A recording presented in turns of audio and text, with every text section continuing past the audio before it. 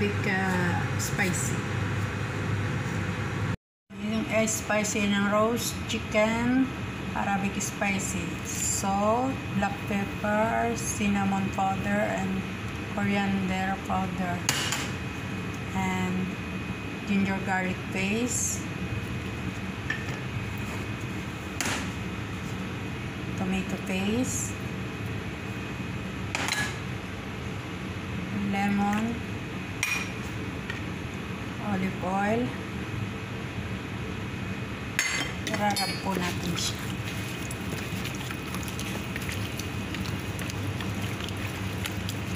Kailangan pong i-rub and then marination for 30 minutes. Yan po siya. Nairap na po siya. Sabayan po natin siya. Takpan po natin siya mamaya ng plastic for marination. And this one, onion, tomato, garlic, potato, and carrots. This is a vegetable for roast chicken Arabic spicy.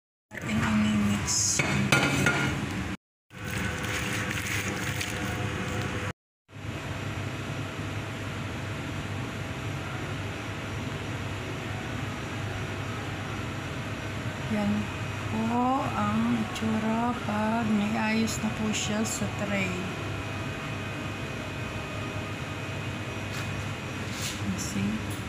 Ngayon naman po, lalagyan po natin siya ng cover, aluminum foil. Tsaka po ilalagay sa oven ng 45 minutes. Po, ayan na po siya. Cook well done na po. But uh, I like to make a little uh, roast I take the cover and then I put again 15 minutes in oven. Is this finish? It's nice, nice color, nice taste. Is this finish? It's nice, nice color, nice taste.